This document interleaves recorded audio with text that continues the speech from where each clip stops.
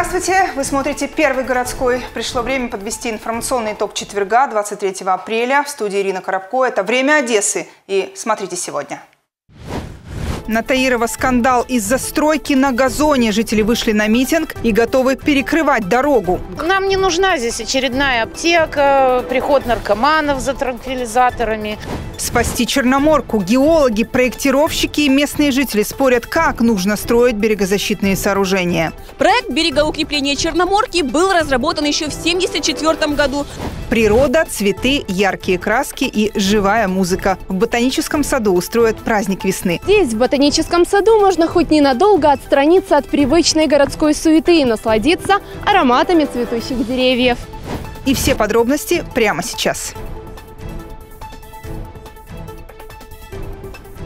СБУ задержала 36-летнюю женщину, которую подозревают в организации взрыва в бизнес-центре на Адмиральском проспекте. По данным ведомства, одесситка по прозвищу «Радистка» заложила самодельные взрывные устройства 10 декабря и 12 марта.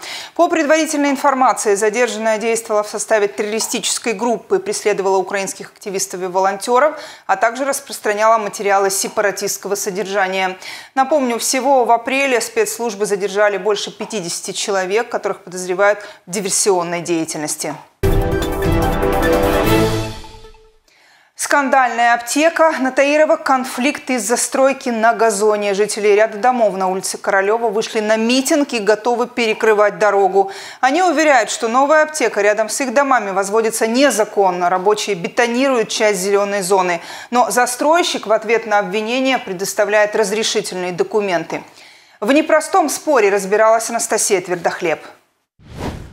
Здесь, на улице Королева, металлический забор возле проезжей части стоит уже не первый год. Местные жители уверяют, раньше за ним ничего не происходило. Недавно ситуация изменилась. На территории появились рабочие. Когда горожане увидели, что газон заливают бетоном, решили защитить кусочек зеленой зоны и вышли на митинг. Нам не нужна здесь очередная аптека, приход наркоманов за транквилизаторами. Нам это все не надо. У нас есть аптека хорошая, мы довольны.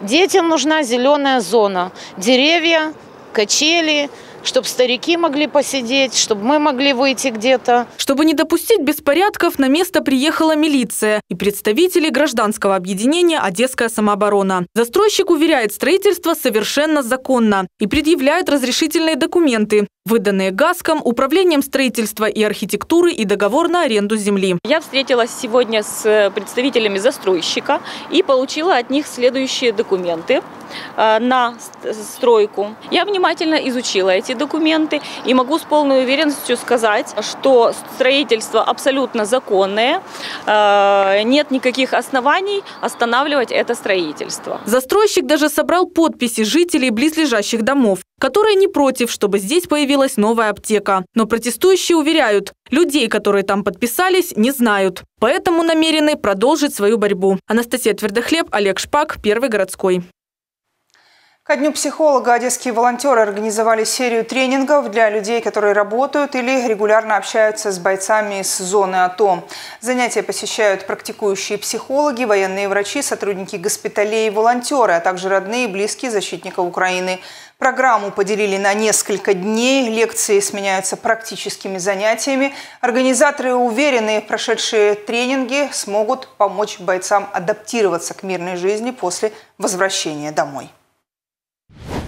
Бывают такие симптомы, которые называются амнезия, э, или то есть вообще потеря памяти, или флешбеки, когда человек вдруг ни с того ни с сего попадает в ситуацию, он, э, ну, перед его э, сознанием вдруг возникают картинки страшных ситуаций, которые он видел там, и он как будто выпадает из реальности, он не, уже не здесь. И у него там может быть какой-то остановившийся взгляд, он ничего не слышит, и близким надо понимать, что это симптомы вот, посттравматического стрессового расстройства, которые подлежат и могут быть вылечены с помощью психотерапии.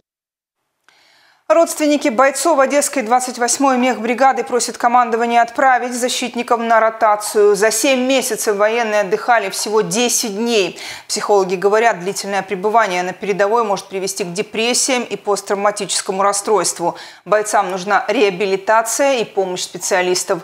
Бывать дома и видеться с родными воины должны не реже, чем раз в 4 месяца. И даже в таком случае после возвращения к обычной жизни большинству понадобится психологическая реабилитация. Человеческий организм не в состоянии постоянно находиться в боевом стрессе, и если боец находится на линии передовой более 4-6 месяцев, то э, изменения, психологические изменения неизбежны. Необходимо отводить бойцов в безопасное место для э, того, чтобы они реабилитировались, для восстановления их э, как физических, так и психологических сил. Сменим тему. Из-за разрушения дамбы Хаджибейского лимана канализационные стоки будут сливать в Черное море. Об этом заявили в службе по чрезвычайным ситуациям. Дамба серьезно пострадала после ливней в начале апреля и была частично размыта. Эксперты считают, что и дальше сливать стоки в лиман опасно. Насыпь может не выдержать напора воды и окончательно разрушиться. Дорогу на скорую руку залатали, но нужен капитальный ремонт, а денег на него пока нет. Сейчас сооружение пытаются укрепить железобетонными блоками, песком и строительным мусором. Работает э, э, предприятие э, облавтодора, проводят работы по укреплению железобетонными плитами откосок вдоль автодороги и Э, также укрепление автодороги песком. Работает э, три единицы техники. Специалисты разработали предварительный проект по укреплению берега в Черноморке. Проектировщики уверены, это реальный шанс спасти поселок, который буквально смывает в море. Все было бы хорошо, но группа местных жителей уверена, авторы документа действуют в пользу строительных компаний, которые хотят застроить берег. Спасут ли Черноморку, выясняла Александра Мироненко.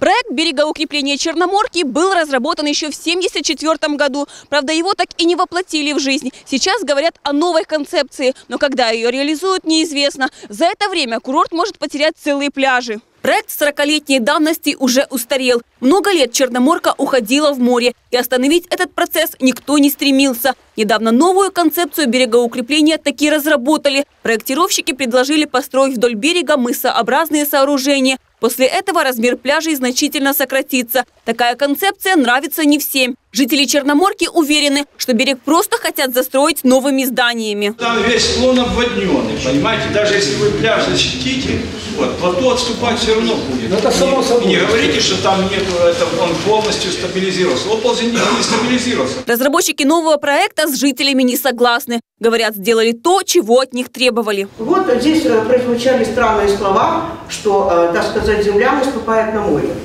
За счет чего? За счет того, что у нас территория уходит.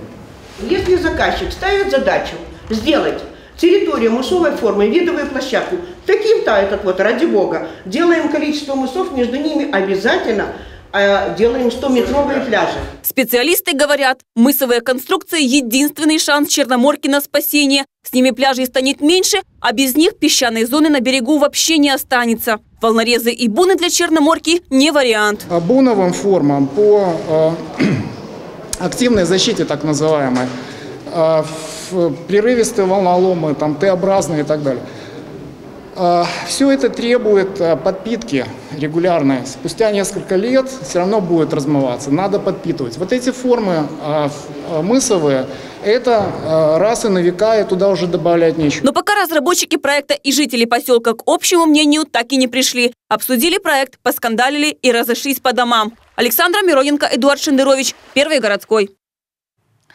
Солнечных детей Одесского дома-интерната на Макаренко приспосабливают ко взрослой жизни. Их учат убирать, шить и выращивать овощи.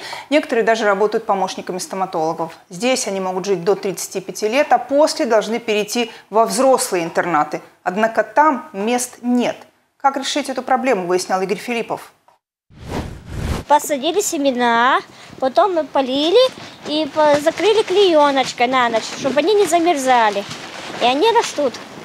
А потом на огород садим. Кристина живет в доме-интернате для девочек с детства. Здесь ее воспитывают и обучают. Недавно ей поручили ответственное дело – работу в теплице. Выращиваю э, лук, э, петрушку, салат, морковку, помидоры. Собираем овощи. Потом отдаем на склад. Как и все воспитанницы интерната, Кристина инвалид второй группы. Всего таких девочек в учреждении 130, большинство – дети. Тех, кто старше 18, берут на работу. Их учат убирать, готовить и даже шить. Вот такие вот интересные котики, разные. Такие. Какие кусочки были, из каких ушли. В феврале здесь открыли первую в области группу поддержанного проживания. Наиболее способных поселили вместе и дали работу. Наталья – одна из участниц эксперимента. Она помощник местного стоматолога. Первым делом успокаивает напуганных пациентов. Я успокаиваю их, пытаюсь а, вселить им надежду, чтобы они не боялись а, врача-стоматолога. Есть такие дети, которые очень боятся. Я их переубеждаю, что вот, и они, да, вот сдаю, это вот, сдаются. Пока таких, как Наташа, 8 человек. Опекают их минимально. В основном воспитанницы заботятся о себе сами. Цель эксперимента – подготовить девочек ко взрослой жизни.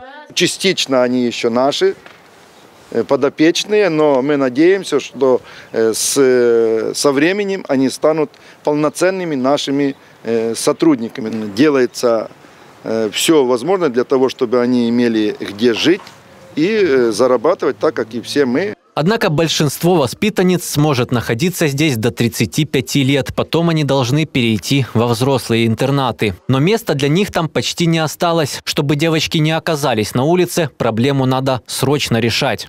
Должно быть какое-то социальное жилье, должно быть место, какое-то общежитие, ну, все что угодно, любая форма для того, чтобы ребенок мог дальше жить. Сегодня это вопрос не решен на государственном уровне. Область на себя такое, к сожалению, не сможет потянуть.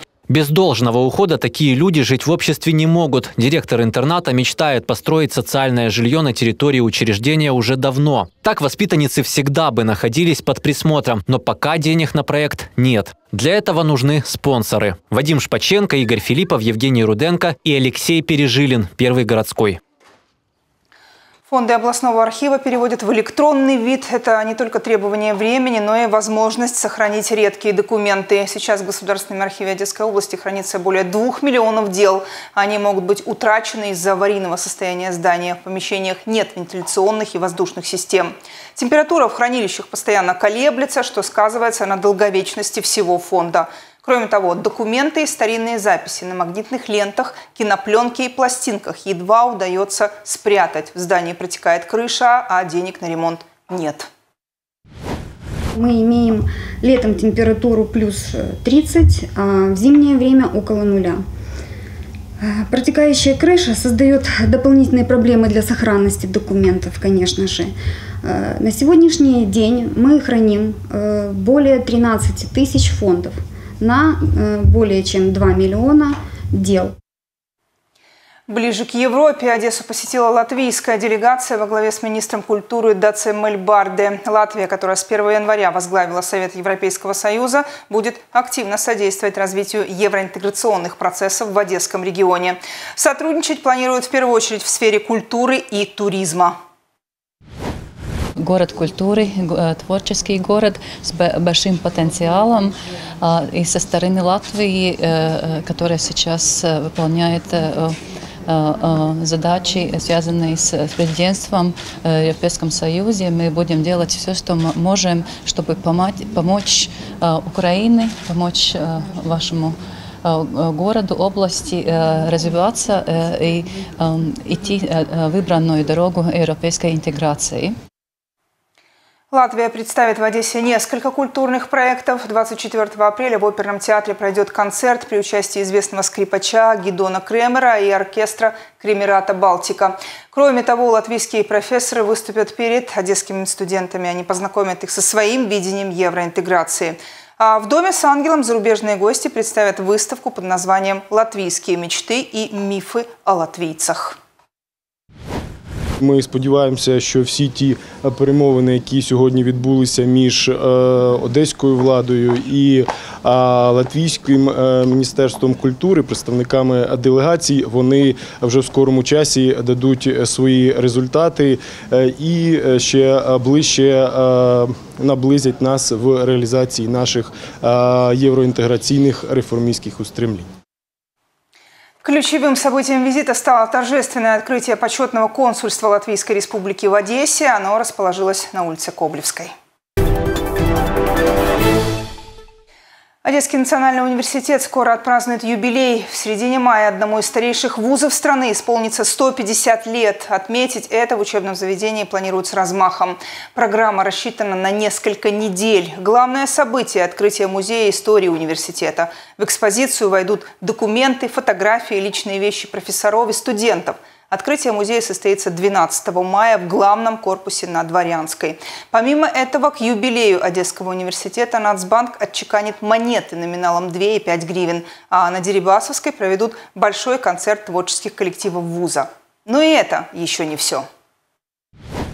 Зроблено багато інших атрибутів ювілейного року: студентські змагання, і спартакіада, яка вже по суті на поготові розпочнеться ось ось таким чином.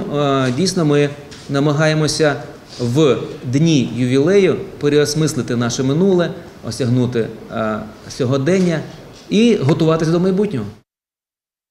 Лотерея, обмен книгами, песни и презентации. В Одессе открылся первый фестиваль книг. В Горсаду можно было познакомиться с новинками современной украинской литературы, классическими произведениями, купить книги по символической цене или даже обменяться ими.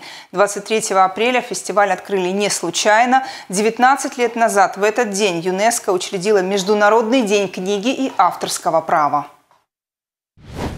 Сегодня нашим фестивалем мы хотели продолжить жизнь книги, мы хотели показать, что книга по-прежнему востребована. Мы рады, что на наш праздник пришло очень много людей. Все подходят к выставкам, все смотрят, все спрашивают. Природа, цветы, яркие краски и живая музыка. В ботаническом саду для горожан устроят праздник весны. Продлится он два дня. Посетителям обещают вереницу разнообразных экскурсий, тренингов и мастер-классов – обучат искусству флористики, икебаны и работы с керамикой. Заодно научат тонкостям высадки растений и уходу за ними. Все подробности знает Екатерина Лапицкая. Здесь, в ботаническом саду, можно хоть ненадолго отстраниться от привычной городской суеты и насладиться ароматами цветущих деревьев.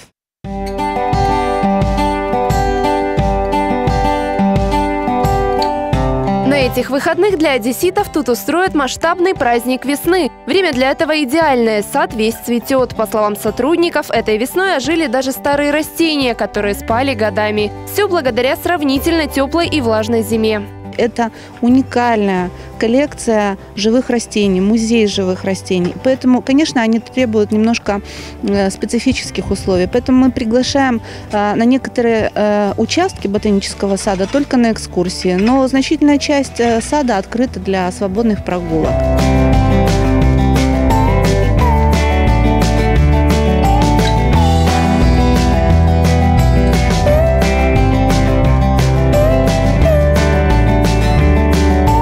Посетителей сада проведут сразу несколько творческих мастер-классов. Покажут, как нужно высаживать цветы, составлять букеты и ухаживать за растениями. В эти выходные, кроме того, что можно будет посетить экскурсии, погулять, просто посидеть где-нибудь э, на пенечке под мощным э, там, столетним дубом, можно будет посетить э, различные мастер-классы, потому что к нам приходят наши друзья, творческие люди. Специалисты научат одесситов всех возрастов делать керамические изделия изделия и рисовать природу в различных техниках. Собственные произведения можно будет забрать домой или приобщить к уже существующей коллекции. Праздник весны устроят на новой территории ботанического сада на французском бульваре. Начало в субботу в 11 утра. Вход, как и в обычные дни, платный, но сумма символическая. Екатерина Лапицкая, Руслан Пейков, Первый городской. У нас все. Таким увидели четверг корреспонденты Первого городского. Это было время Одессы. С пожеланиями спокойствия и только хороших новостей я прощаюсь с вами до следующих информационных выпусков. Спасибо, что смотрите. Увидимся.